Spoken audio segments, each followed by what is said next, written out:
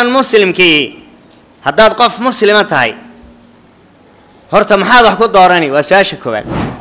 Dadka qaarkood baa intay kaadharhkii urursadaan oo ay dadka carruurta iyo dumarka iyo xamasta ka ururiyaan ayay ku gorgortamayaan kolba xisbi ula tegayaan. Intaasoo cod baan hayaa imisaad isiinaysaa imisaad isiin kolba qolay ula tegayaan. Lacagta ku bixinayina waa wax liita. Oon shaksiyad lahayn waana kuwa raba inay noo taliyaan. Ka sanad kasta ama dhowrkii sanaba ay dadka yaa ree hebele ay wax ku dooranayaan. Goormay dadkani bislaanayaan ta shaqaynaysa maskaxdiisa ee actifeka facaalka ah waa qabyaaladda. Marka ree hebel la soo qaado dhiiggiisu boqol buu tegayaa. In baashii lagu faanayo oo dumarkii reer ay leeyihiin dumarkii ree hebel. War waxaabaad aragteen ood maqasheen? Bal ceebto halka ay maraysa ka warrama. Beleste iyo dumarkii ree hebel ee durmaanu dhiibaya cawradii in la asturay ahayd saddexaad een baraarujin laha waxa weeyaan qofku mas-uuliyadda saaran inuu dareemo inuu mas-uul yahay ilahayna kala xisaabtamaya mas-uul baa tahay mas-uuliyaddaana ilaahay baa kaala xisaabtamaya adaa mas-uula qofka muslimkii waa maxay waa qof muslima oo qiyamkiisa akhlaaqdiisa dadnimadiisa diintiisa ilaashanaya waa qofka muslimkii waa qof waxa xunna diida waxa sanna dhiirigeliya. Haddii uu qofku intaa yeelan waayo qof nool maaha qof jira maaha qofkaas. Calaa sabiili lmithaal tusaale ahaan haddaan maanta aan aan tusaale kooban aan nin soo qaado beryahan waxay dadku isku diyaarinayaan inay wax doortaan bay isku diyaarinayaan qaabkii wax loo dooranayay ee akhlaaqda iyo dhaqanka lahaa ee islaamka. Sida ay wax u socdaan ma aha mar kasta oo ay timaado doorashooyinka noocan oo kaleana dadku way sii kala tegaan. Oo dadkii waxoogaa isku soo dhowaaday xiqdigii iyo caloolxumadii iyo murankii au ka dhex baxay ayaa mar kastaba la soo celiyaa boogtii waxoogaa yar dhayantay. Ayay siyaasiyiintu xoqaan. Oo ay ka dhiijiyaan markaas baa dadkii walaalaha ahaa qaraabada ahaa ayaa kala tegaya. Dad guri keliya ku nool baa kala dhaqaaqaya. Nin iyo xaaskiisii ayaa ku kala tegaya bal waxaa laga yaabaa inay keento furqa iyo kala teg iyo cadho inay keento. Waxaasi wax kale maaha waxa lunsan qofkan muslimkii haddaad qof muslima tahay. Horta maxaad wax ku doorani waa su'aasha koowaad. Waxaad wax ku dooranaysa waa maxay? Ciddaad dooranaysaysa waa ayo. Maxaase qofkan ku raacaysaa maqaayiistii iyo micyaarkii iyo halbaaggii qofka muslimka u raaci lahaa ayaa lumay. Maxaa soo haray? Qabyaalad alqabaliya. Ka siyaasigiihi wax kalow haya ma leh. Waxa uu iibgeeyo oo u dadka ku qanciyo ma leh. Akhlaaq iyo dhaqan iyo cadaalad iyo cilmi iyo aqoon iyo cibaado ay dadku ku raacaan wanaagsan oo uu dadkao dhan kaga soo dhex baxo ma hayo. Taa ma hayo. Mar hadduuna taa hayn muxuu samaynayaa waa inuu idhaahdo yaa ree hebelay waa inuu idhaahdo dee. Yaa ree hebelay waa inuu idhaahdo billaahi calaykum. Marka sanad kasta ama dhowrkii sanaba ay dadka yaa ree hebelay wax ku dooranayaan. Goormay dadkani bislaanayaan. Ilaa mata waa ilaa goorma. Goormay dadku dad bisil noqonayaan oo waxa ay dooranayaan iyo waxa ay ku dooranayaan yaqaana. Waxaa mahmaah baa jirta man shaba calaa shayin shaaba calayhi. Qofka shay ku barbaara ku kacatima ku weynaada uu ku ciroobaa odayadii waa weynaa dee qabyaaladanay ku soo jireen way ku tegeen. Inta noolna qarkay saaran yihiin. Dhallinyarta iminka dhowr iyo soddon jirka ah ama soddon maraysa ama dhowr iyo labaatan waxay ku anqareen ku ababeen ku indhabaraqsadeen qabyaalad ree hebel inaga celiya kuwii hore ay ka daran yihiin. Waayo odayga hore waxuunbuu xeerinayey. Dhaqanku wax ka yaqaanay. Waa laga yaabaa inuu waxuun ilaaliyo laakiin kani wax alla waxau dhowraya male. Gebigiisuba oo qabyaalad. Socoto weeyi oo dhiiggay ka gashay. Dhaacaankiisa iyo dhiiggiisa iyo hilibkiisuba waa qabyaalad. Iyadu ku koray ku kacatimay ku weynaaday. Inta shaqaynaysa maskaxdiisa ee activeka ah facaalka ah waa qabyaaladda. Marka reeba la soo qaado dhiiggiisu boqol buu tegayaa. Uu kacaa fadhiisanayaa waayo intanaa shaqaynaysa. Maskaxda inta caadiga ee activeka ee yani facaalka ee nashaad kale shaqaynaysa waa intan. Intaabaa shaqaynaysa. Intanu ku koray dee. Wax kali ma jiro. Sidaa darteed baa waxaa maanta muuqata in qofkii shaksiga xataa shaksiyaddiisii ayna jirinba maba jirto? Waxyaabaha yaabka badan ee aan maqlay waxaa ka mid a in qofka xataa kaarhkiisa la iibsanayo.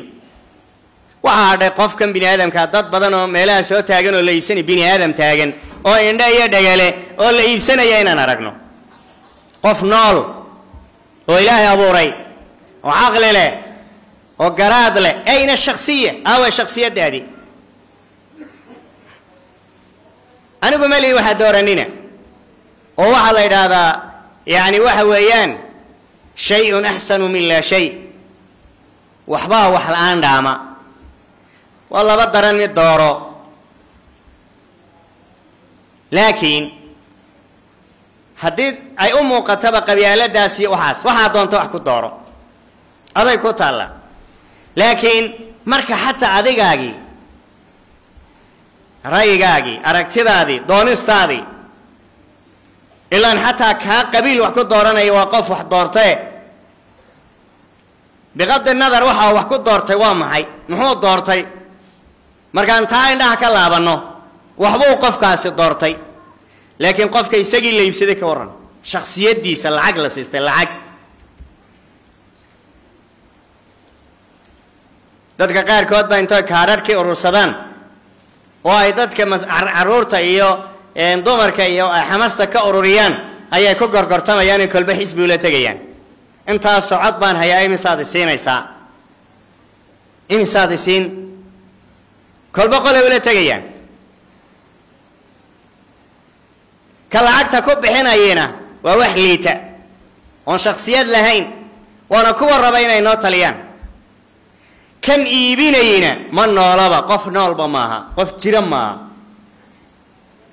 Ma noolo. Waxa wey yani iska dhaaf shaksiyaddii muslimka ahayde alinsaaniya insaaniyaddii baan jirin. Insaaniyaddii xataa dadnimadii meesha ma taallo. Maxaa tahay adigu? Maanad ahayn qof ilaahay abuuray oo indho iyo dhegele oo caqli leh oo garaad leh oo wax dooran kara wax diidi kara markaas bay hadhow dadku ay caban doonaan. Arrintaasi waa arrin aad iyo aad u yaab badan. Arrinta labaad waxa weeye. Oo qabyaaladii maanta ay keentay foolxumada ay keentay waxaa ka mid ah in baashii lagu faanayo. Oo dumarkii reer reer ay leeyihiin dumarkii ree hebel. Warma waxaabaad aragteen ood maqasheen? Bal ceebto halka ay maraysa ka warrama. Beleste iyo dumarkii ree hebel war nimanka cawradii bannaanka soo dhigaya ee durmaanu dhiibaya. Cawradii in la asturay ahayd. Dumarkii in la maamuuso ahaa hadday wax dooranayaan ha doortaan. Laakiin intoo la soo saaro dumarkii ree hebel oo kuwii kalena waxay yihiin maana kaana ree hebel ahayn. Maxaad umalayn dumar xamaasad qabyaaladeed la dhex geliyey? Odayadii ree hebel dhalinyartii ree hebel. War xaggeen u soconnaa horta xaggeen u soconnaa xaggaan u soconnaa waa xaggee. Waa xaggee. Mayna waxba inoo kordhayn. Waayaha iyo da'da iyo sanadka mayna waxba inoo kordhinayn. Miyaanan horumarba samayn karaynin inaan wax ka guurno oo wixii sannadkii hore jiray wax ka wanaagsan inaan samayno maxaa inoo diiday? Wax asturan oo wanaagsan oo akhlaaq iyo dhaqan leh inaan samayno maxaa inoo diiday hadday siyaasiyiintu tan ay dan u tahay maxaa dadkii caqliga lahaa ay arrinta uga talin waayeen? Ina dumarkii la soo anbabixiyo taa waxaa ka daran qaawanaanta. Hablihii oo marka dumarku had iyo jeer xamaasadooda marka la kiciyo warba iskuma hayaan. Haddii durmaan loo garaaco dumarku waxa weeyaan aswaadda iyo sawdku aad buu saameyn ugu leeyahy saa darteed baa nebigu calayhi salaatu wasalaam wuxuu yidhi isagoo safar nebigu ku jira oo dumarku gaadiid saaran yihiin awr baa dumarka la saari jiray. Nin anjasha la yidhaahdo ayaa geeraar ku dhiftay geeraar. U geeraaray geel u geeraarayaa geelu marka aad buu dhaqaaqayaa marka loo geeraaro. Socodka cagtuu qaadaya. Markaas baa nebigu sal allahu alayh wasalam wuxuu yidhi rifqan bilqawaariir yaa anjasha rifqan bilqawaariir war quruuradaha u tudh buu yidhi nebigu sal allahu alay wasalam quruuradaha u tudh quruuradaha u tudh culimmada qaarkood waxay yidhahdeen wuxuu nebigu leeyahay sal allahu alay wasalam geelayidhi markuu xoog u dhaqaaqo waxa dul saaran aad buu ruxayaa. Markaa he gabayga ee muxuu ahaa geeraarka u kaadi waxoogaha geelu si u cagta iyo dhigo.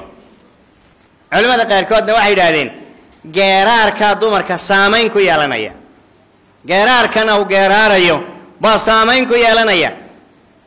Sidaa darteed baa wuxuu yihi rifqan bilqawaariid haweeneeda waxaa laga yaabaa sawd meel ay ka maqatay qof ayna weligeedba arag codkiisa ay maqashay bay iska jeclaanaysaa. Maxay ku jeclaantay? Bisawtihi mana arag mana maqal waa samciyaad. Qaybta maqalka saamayn badan bay dumarka ku yeelataa. Heestii baa la tumaya dhaqan xumada ugu badan baa dhacda waqtigaa doorashada akhlaaq xumada ugu badan baa dhacda qaawanaanta ugu badan isdhexgalka ugu badan baa dhaca fisqiga ugu badan baa dhaca fisqiga ugu badan ayaa waqtigaa dhaca dhalinyar badan oo hablo iyo inamo leh ayaa waxay bartaan balwado kala duwan bay bartaan jaadka iyo muxuu ahaa badeecadda iyo waxyaabaha la midka iyo akhlaaq xumada iyo zinada ayaa faraha ka baxda. War ma fisqi baan wax ku raadinaa? Bilaahi calaykum. Maxaan doonaynaa horta? Waxaan doonayna horta waa maxay? Waxaan rabnaa amni iyo ammaan waxaan rabnaa nabadgelyo. Waxaan rabnaa horumar. Waxaan rabnaa barwaaqo. Waxaan rabnaa dalkeenna iyo diinteennuba inay noo badbaado maxaaraan baan ku raadinaa iyo macsiyo? Macsiyaan wax ku yegleelnaa miya bal dowlad lagu dhisayo lagu yegleelayo oo dhidibada loogu tumayo macsiyo. Waxa ka soo jeedaa muxuu noqonayaa markaan dhidibada ugu hasno macsiyo been baan ku yaan ku dhisnay. Khiyaamaan ku dhisnay. Cay iyo aflagaadaan ku dhisnay. Qaawanaan baan ku dhisnay. Khiyaamaan ku dhisnay. Maxaa ka soo baxaya marka reerka aan ku dhisnay xaaraanta waxaa ka soo bixi doonaa muxuu noqonayaa waxaan leehay. Dadka mas'uuliyiinta ah. Nimanka madaxda ah ilaahay ka baqa. Ummadda ilaahay kaga cabsada. Ilaahay kaga baqa. Dhidibka reerka aad dhisaysaanna ee aad doonaysaan inaad madax ka noqotaanna xaaraan iyo dembi iyo macsiyo ha ku yeel yagleelina. Dhidibada ha ugu tumina xaaraan ilaahay ka baqa xamasta dumarka iyo carruurta ilaahay kaga cabsada. Aad sida xun durmaanka ugu tumaysaan ee aad furaha qabyaaladda ku rogteen ead handhariseen ead kiciseen eed halkii ugu dambaysay gaadhsiiseen ead kacaa fadhiisiiseen waxay ahayd inaad soo bandhigtaan ummadda waxaad u qabanaysaan. Oo taa ku tartantaan bay ahayd. Ummadda waxaa baan u qabanaynaa. Oo qofka markaa lagu doorto dadnimadiisa iyo diintiisa waxaan leeyahay ilaahay subxaana wa tacaala aan ka baqno. Qofka caqligiisa iyo taladiisa waa ammaano. Ammaano ilaahay ku saaray weeye. Ammaanadaana ilahay wuxuu ku weydiin halkaad dhigayso. Ciddaad dooranayso iyo waxa aad ku dooranayso ilaahay ku weydiin doonaa. Ilaahay ku weydiin doonaa. Nabigu calayhi salaatu wasalaam wuxuu yidhi laa amaanata wuxuu nabigu yihi sala allahu alayh wasalam laa iimaana liman laa amaanata lah. Iimaan ma leh qofkaan ammaano lahayn ilaahay muxuu kugu aaminay? Maxaa laguu dhiibay? Ammaanada lagu saaray? Way culus tahay. Ciddaad dooranaysa waa ammaano. Laa iimaana liman laa amaanata lah walaa diina liman laa cahda lah. Qofka aanan ballan lahayna diin male ammaanadu waa wax aad iyo aad u qaaliya. Ammaanadu waa wax aad iyo aad u culus weeye qofku marka inuu ammaanadaa ilaaliyo weeye waxaan arrintaa ku adkaynaya waxa weeye qof noqo qof shaksi muslima muslima oo ilaahay yaqaana oo makhluuqana yaqaana sida ula dhaqmo oo hadafkiisu yahay inuu ilaahay raalligeliyo ilaahay raalligeli waxaad samaynaysa haddaad cid dooranayso ilaahay ku raalligeli haddaad hadlayso hadalka ilaahay ku raalligeli camalkaaad samaynayso ilaahay ku raalligeli waayo yoolka iyo hadafka qofka muslimka u higsanayi waa irdaau llahi tabaaraka wa tacaala ilahay inuu raalligeliyo ilahay inuu raalligeliyo waxaan ku soo ururinaya waxaan ilaahay subxaana wa tacaala ka baryaynaa. Ilaahay subxaana wa tacaala ummaddan ilaahay subxaana wa tacaala in wax khayr qaba. Ilaahay subxaana wa tacaala cid khayr qabta oo dalkooda iyo diintooda iyo dadnimadooda iyo cirdigooda iyo sharaftooda iyo horumarkooda ka shaqaysa ilaahay inuu waafajiyo ilaahay u dooro. Dadka qaarkood ilaahoo wax wanaagsan noo doorta wayba ka xanaaqaan. Dad baa ka xanaaqaba. Wadaad baa maalin khudbad masaaj ka kacay. Markaas baa wuxu uhi allahuma walli allahuma walli umuurana khiyaarana. Walaa tuwalli umuurana shiraarana. Sow duco wanaagsan maaha. Qaar baa ka xanaaqay gaar ahaan kuwa dowladda. Markaa maxay qirayaan inayna dad wanaagsan ahayn dee. Waa duco aamiin inay idhahdaan bay ahayd. Allahuma walli umuurana khiyaarana walaa tuwalli umuurana shiraarana. Waa duco wanaagsan. Ilaahu arrimaha yaga u dhiib. Dadka yaga yacni ugu wanaagsan. Ugu dadnimada badan. Ugu diinta toosan. Ugu akhlaaqda fiican. Ilaahow arrimaha yaga u dhiib. Ilaahow arrimaha yaga ha u dhiibin kuwa akhlaaqda xun ee dhaqanka xun ee khiyaamada badan ee dalka iyo dadka iyo diintaba khiyaamaynaya ilaahow ha u dhiibin. Aamiin dhahde aamiin waa maalin jumca wey. Ilahay waa inaga aqbalaya. Ilaahow arrimaha yaga ha noogu dhiibin. Kuwa diinta u xun oo dalka u xun oo dadka u xun oo akhlaaq iyo dhaqan lahayn ilaahow arrimaha yaga ha noogu dhiibin. Ilaahow dadka toosan ee akhlaaqda leh ee ummadda u naxaya u turhaya ilaalinaya dalka iyo dadka iyo diintaba ilaahow arrimaha yaga u dhiib waxaa laga yaabaa waxaan waxaanan ahaynba inuu ilaahay subxaana wa tacaala uu soo saaro oo cid kale ay ilaahay subxaana wa tacaala faraj kale u keeno waxa weeyaan ilaahay baan baryaynaa rabbana aatina fi dunya xasana وفي الآخرة حسنة وقنا عذاب النار اللهم اقسم لنا من خشيتك ما تحول به بيننا وبين معصيتك ومن طاعتك ما تبلغنا به جنتك ومن اليقين ما تهون به مصائب الدنيا. ربنا آتنا في الدنيا حسنة وفي الآخرة حسنة وقنا عذاب النار. وصلى الله وسلم وبارك على محمد وعلى آله وصحبه وسلم وأقم الصلاة.